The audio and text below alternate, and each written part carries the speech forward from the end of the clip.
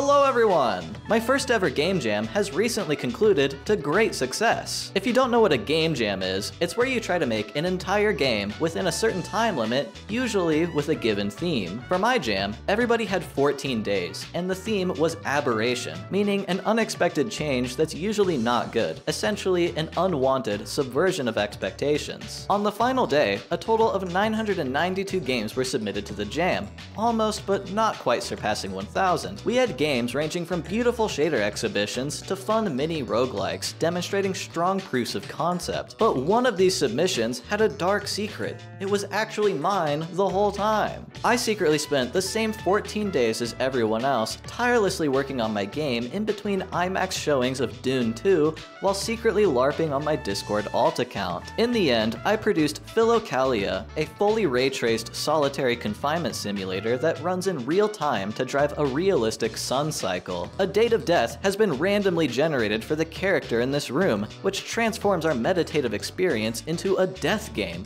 Who will die first? You or the prisoner? I wrote my own compute ray tracer for this, figured out how to calculate the position of the sun from date and time, made all the materials, and I wrote all the music. So today, I'll be going over how I did all that.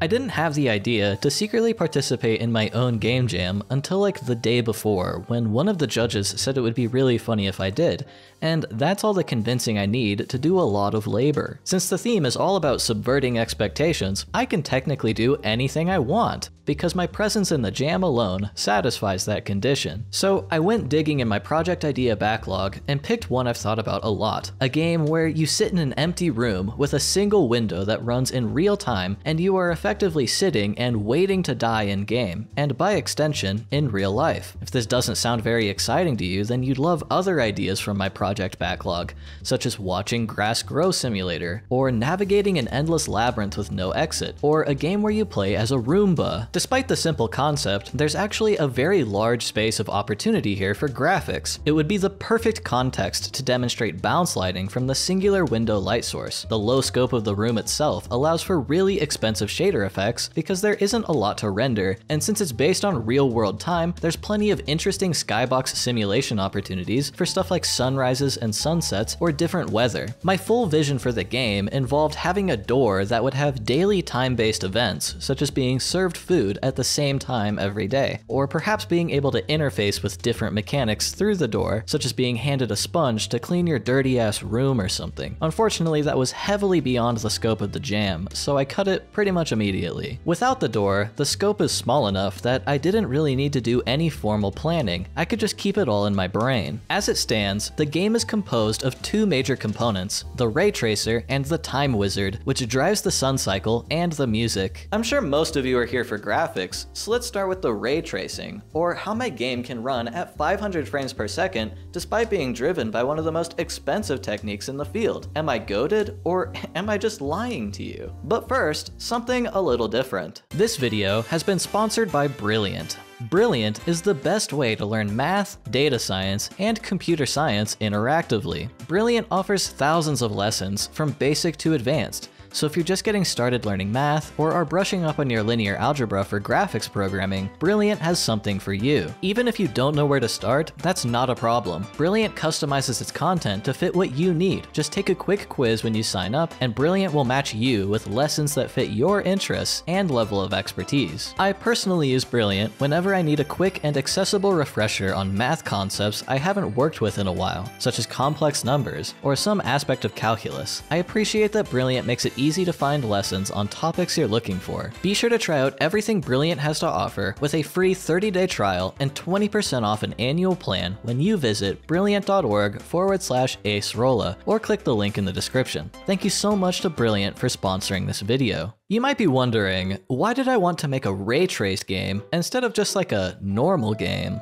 Mainly cause I don't actually have a complete ray tracer right now. In fact, I don't have a whole ton of experience with ray tracing beyond my old CPU ray tracer and a simple compute one from a tutorial I followed a few years ago. Also, since I want this project to be a good demo for bounce lighting, I'll need to write a ray tracer for that anyways. Thankfully, ray tracing is really easy to understand. Imagine you're in a dark room. You can't see anything because there's no light. Suddenly, a light source appears, and you realize you found yourself in a room full of distinctly different cardboard cutouts of Molly Rankin. You hear a voice from behind say that you're not supposed to be here. With the light turned on, rays are being cast out in all directions, bouncing around off surfaces till they run out of energy. Many of them reflect into your eyes, enabling you to see the cardboard cutouts. You could easily simulate this by generating a million rays of light in random directions from the light source, and then whichever ones happen to bounce into the camera get rendered. But that seems silly, as 99.9% of the rays would be wasted. Thankfully, we can make our lives much easier by taking advantage of a principle proposed by Stokes and Hermann Helmholtz in the 1850s that describes how a ray of light and its reverse ray experience the same adventure. This is known as the Helmholtz reciprocity principle, and it means that if we were to take one of these rays that bounces into the camera and cast a ray from the camera in that same direction, we would end up with identical results because those two rays would experience the same exact reflection events. So instead of doing our tracing from the light source to the camera, we do it from the camera to the light source. That way, we only do work for the rays that actually matter. This magical optimization is not a new idea. It goes all the way back to the 70s, when Turner Whitted demonstrated recursive ray tracing for the first time ever, giving us the name Whitted style ray tracing. Anyways, that's the abstract, but how do we actually implement these ideas? Obviously, if we want to trace a scene, we need to figure out how we actually represent the individual objects mathematically. This generally comes in the form of ray geometry intersection formulas, such as ray sphere, ray cube, or ray triangle. When we cast a ray, we want to determine if it intersects with any objects by checking it against every object's intersection formula in the scene. Some of you may have had a terrible, terrible realization just now, because if all we have is a ray triangle intersection formula, and complex 3D models are composed of individual triangles, that does unfortunately mean we check against every single triangle of the mesh. This is just one of the many reasons why ray tracing is generally not very performant. If we want a real-time ray tracer, we're going to have to keep the scene geometry as simple as possible, so I decided to limit my game to just cubes. Let's say we have a cube of side length 1 positioned at the origin, and our camera, positioned 3 meters away, is pointing towards the cube, we can see on the graph that the camera is 2.5 meters from the cube, which we can use a ray cube intersection formula to verify. When we cast a ray from the camera, we take the reciprocal of our ray's direction, multiply it with the ray's origin, and negate it. Then we take the absolute value of the earlier reciprocal and multiply it with half the box size. We add and subtract this to the earlier calculation to create the two potential intersection distances on each axis and take the max and min of each. This first distance is what we want, as it represents the distance from the ray to the nearest intersection of the cube. If the near distance is greater than the far distance, then there was no intersection. Coincidentally, this value we have produced is equal to 2.5, the same distance we observed on our graph earlier. This is pretty much all we need to ray trace a scene of cubes. The intersection function tells us if we intersected an object in the scene, and if we did, it also tells us the distance of the intersection from the ray. The reason we need to check every object in the scene is because we want to ensure we get the closest intersection instead of just the first intersection. Now that we figured out how to interact with our scene mathematically, all that's left to do is draw the rest of the owl and do the lighting. If you remember from other videos, all we need for basic diffuse lighting is a normal vector and the direction of the light source. Currently, we have no normal vector, just the distance of intersection, so we need to extend our intersection function to calculate that. Thankfully, a cube is a pretty simple shape and only has six possible normal vectors, three of which are just opposites of the others, so it's only a problem of detecting which face of the cube we intersected with, and we don't need to do any cringe calculus. Whichever axis we intersected the cube on, we multiply with the negative sign of our ray direction, and we get the normal. Our lighting is then as simple as taking the dot product of the direction of the light source and the normal vector at the intersection point, and if we do that for every pixel of our screen, we get a ray traced cube.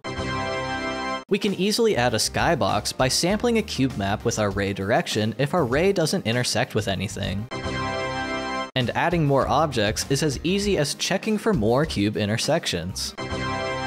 But Rolla, this is supposed to be ray traced. Where are all the cool reflections? At the moment, we are only modeling diffuse surfaces, but when a surface is shiny or reflective, a light ray that hits it is going to reflect off the surface and collide with another object, or maybe go off into infinity, in which it effectively collides with the skybox. This is where the actual tracing of the ray comes in. If we intersect it with a reflective surface, then we want to calculate the reflected ray direction and do all of our ray tracing work again, but from the intersection intersection point in the direction of the reflection instead of from the camera. Each time we intersect with something, we add the lighting at that point to a cumulative sum which will be the final output color. As you can see, all of our cubes have transformed into perfect mirrors.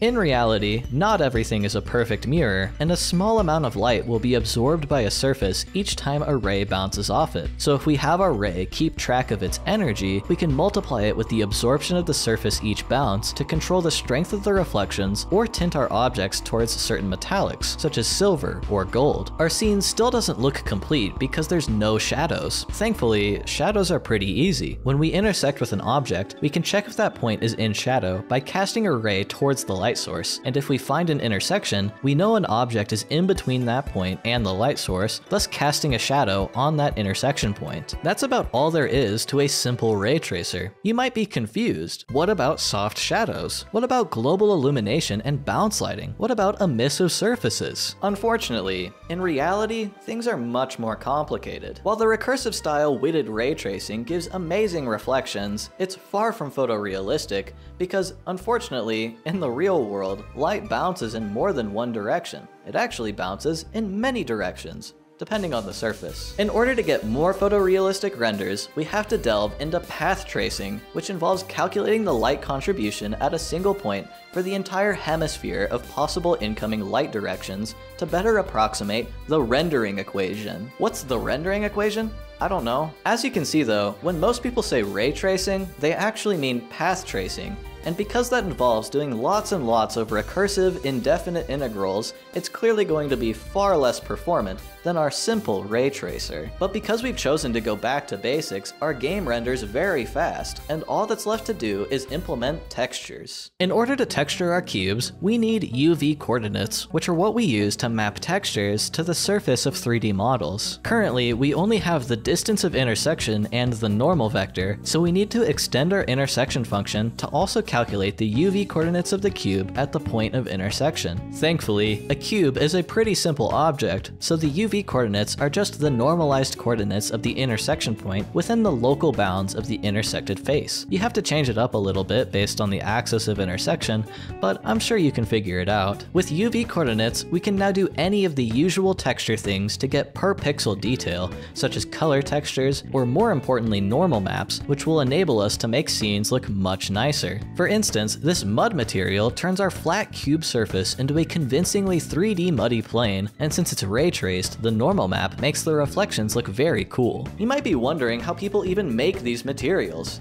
everyone just seems to magically have a bunch of textures lying around. The main tool used in the industry is Adobe Substance Painter, which is a handy tool for layering a bunch of different procedural noise functions to satisfy any of your general surfacing needs. I've never used Adobe Substance Painter before, so it was one of my goals at the jam to use the tool to make all my own materials for whatever environment I ended up making. So let's go over how I did all the art for my game. Since my goal is effectively a solitary confinement simulator, I thought looking at some real-world examples would be a good idea. I originally planned for a concrete cell, but I quickly realized it'd be hard to make decent-looking concrete materials since a lot of the appeal of concrete comes in degradation, which if the geometry is totally flat, it'll be hard to get that to look good with just normal maps. So I decided to go with a wooden cell, which reminded me of a story of this Japanese guy who escaped from prison like four times, despite the incredibly high security of each location. His name was Yoshi Shiratori, and he was a career gambler. I went looking for reference pictures of the cells he escaped from, and found a nice photo from the third jail he broke out of, Abashiri Prison. It's pretty much exactly what I was looking for, a small wooden room with a single window. Before I made any materials in Substance Painter, I wanted to block out the scene in Unity first, but there's kind of one major problem. Our ray traced cubes technically don't exist and are hard coded into the shader. Unity has no idea about them. In order to fix this, I restructured the ray tracer to operate on a buffer of cube positions sent over from the CPU, and now we can take advantage of Unity's level editor and existing cube mesh to block out our scene and have it transferred to the ray tracer with ease. Using the reference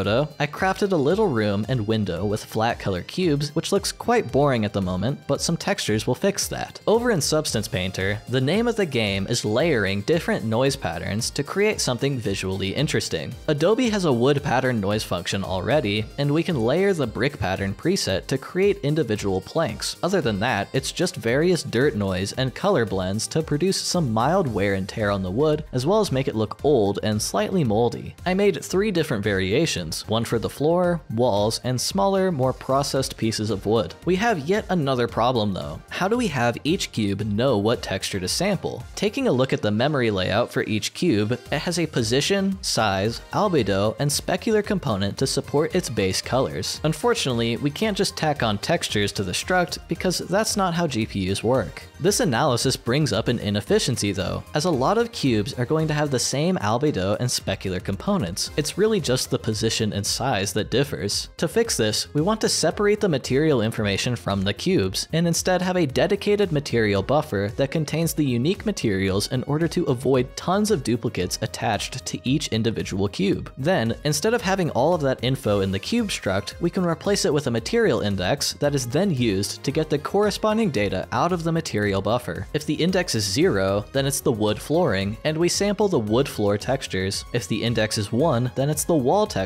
and so on. This isn't a huge optimization for our small scene, but consider the case where there's thousands of cubes with the same material data. After giving each cube its proper material, our solitary confinement cell is complete. It's really dark though. In the real world, the sun's light would be bouncing all over the room illuminating it, but since this is not a path tracer, we don't get to see that. Instead, I just put a point light in the room to fake it. This wouldn't be an Acerola game if it wasn't heavily post-processed, so I also made use of my shaders from other videos to add some bloom, color correction, tone mapping, sharpness, and anti-aliasing that I have yet to make a video on. The art of our game is finished, but that was still only half the project. Now we've got to figure out how to use the real world time to calculate the position of the sun to give us a realistic daily sun cycle. After lots of reading and researching, I came upon a research paper with perhaps the worst title in history, a solar azimuth formula that renders circumstantial treatment unnecessary without compromising mathematical rigor, mathematical setup, application, and extension of a formula based on the subsolar point and ATAN2 function. Here's a better title. This is actually a great paper that explains everything pretty well, but I'll give a general overview. In order to get the position of the sun, we need a time and position on the Earth in terms of latitude and longitude. While I could very suspiciously ask the player to turn on location data so the position is accurate to you personally, that would be a little weird. So I decided to choose where I live to be the canon location of the game. This is so that I could verify my code works by just going outside and looking at the sun myself. Since time zones exist, all this math is based on Universal Time, or UTC, which is the base reference used for all other time zones. Since I am on the west coast, we need to take my local time and convert it to UTC before doing anything else, which is as easy as adding 7 hours. From this, we calculate the number of days of terrestrial time from J2000. Terrestrial time is an astronomical time standard for observations made from the surface of the Earth, and J2000 is the current standard epoch, which essentially refers to January 1st, 2000. So this is the number of days from the year 2000, accounting for leap years and such. Then we calculate the longitude of the sun, the mean anomaly of the sun, the ecliptic longitude, the obliquity of the ecliptic, the right ascension of the sun, the declination of the sun, the distance of the sun from the earth, and the equation of time. What is the equation of time? I don't know, man. Google it. All of these pre-calculations enable us to finally calculate the latitude and longitude of the subsolar point, which is the current position on Earth directly underneath the sun. Then we take our local latitude and longitude from earlier, do some trig, and we have the x, y, and z components of our sun direction vector. This is the position of the sun in the sky at noon on January 1st, 2024 in Bend, Oregon. I know this because I don't have to actually use my current local time. I can use any time I want for debugging purposes, using my handy dandy time wizard. We can see that the sun rises and falls as the hours go by, and in the summertime, the sun gets higher into the sky than it did in January. One thing I really like is that every year the angle of the sun changes just a little bit, meaning that because we're using real time, every single frame of our game is basically unique and can never be returned to as we march ever farther into the future. Since I didn't have time to model the moon, I faked a sunset and sunrise by blending between a day and night skybox, creating perhaps the best sunset effect in the industry. With this, the visuals are finished, and all that's left is the music. This may come as a surprise, I was a band kid. Unsurprisingly, I was also a theater kid, a very unfortunate combination. I played the flute for years, but gave it up when I entered college. Recently, I've gotten back into music music in my free time, and I've been taking piano lessons since November last year.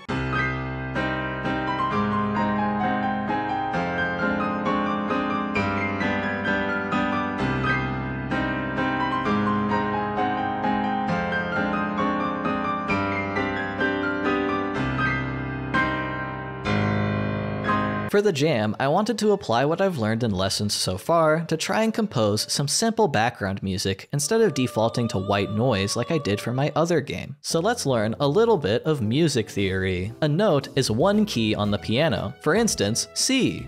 A chord is composed of multiple notes. There are unpleasant chords and pleasant chords. There are lots of formulas for how chords are put together, but I won't really bother with explaining that. The main basic idea is major and minor chords, which convey different feelings. For instance, the C major chord is composed of C, E, and G. To get C minor, we flatten the middle note, meaning we move it a half step down to E flat in this case. Keys on a piano repeat every 8 keys, so if we count up 8 from this first C, we return to C but one octave higher, meaning that if we play these same notes of C major at different octaves, we're still playing the C major chord, even though it's 6 notes instead of 3. Moving on, an arpeggio is when you play the notes of a chord individually instead of all at once. The arpeggiated C major sounds like this. But having only three notes isn't very exciting, so we apply the idea from earlier and usually tack on the root from the next octave, like so. Lastly, a suspended chord is when we make use of the two notes a half step away from the two notes that form the major and minor chords. For instance, a C sus chord could sound like this, or like this. Suspended chords are nice as a transitional chord into the main major or minor chords. Since the middle note is closer to the other notes, there's a slight dissonance and tension that makes the next major or minor chord sound better because of its more proper harmony and release of the implied tension from the dissonance. Anyways, that's all the theory. My favorite chord at the moment is B minor. I just think it's neat. B minor is the central chord of songs like Aria of the Soul from Persona. The main melody plays along a suspended B minor before resolving. I wanted the background music for my game to be kind of droning and reinforce the theme of time, so I took the idea of a clock alternating between two sounds and recorded a B and D octave to swap between each second. Since we're swapping between two of the three notes of the B minor chord, it doesn't really resolve, so to speak, until the third note, F sharp, is played, so playing a chord without resolution gives us that droning feel. Then, to make use of our real-time mechanics, I wanted a little motif to play every minute and every hour, so using ideas from Aria of the Soul, I made use of the sus chord for the minute motif. And finally, at the turn of the hour, I resolve the repetition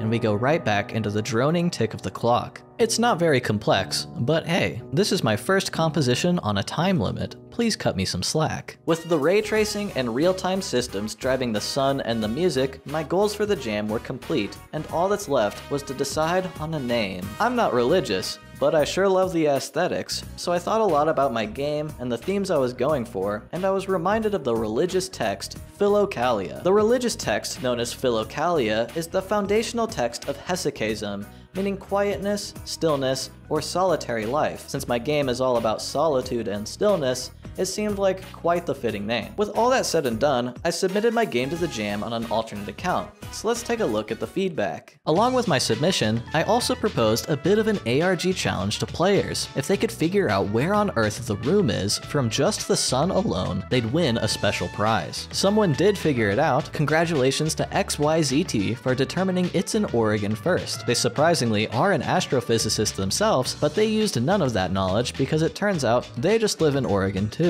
My submission ultimately went mostly unnoticed since I didn't try to advertise it or push it at all beyond sneaking it into one of my highlight lists. But I got some lovely feedback from others, such as not bad from Guyper Z. I don't really see the gameplay value from TF Phoenix, and this note left on the judging spreadsheet. Thanks guys. This is understandable because if you don't know what makes my submission interesting, then it's really just a fancy wooden crate simulator. Thankfully, I have spent this entire video explaining to you why it's cool actually, and not super lame and boring. If you're interested in the full judging stream, as well as the trailers for the top 10 and honorable mentions, they are all linked below or can be found in the Acerola Jam playlist. Thank you so much to all who participated. I'm sorry that I can't give everyone the recognition they deserve, but I hope you continue to create new things and better your skills in preparation for the grand Acerola Jam 2025. And with all that in mind,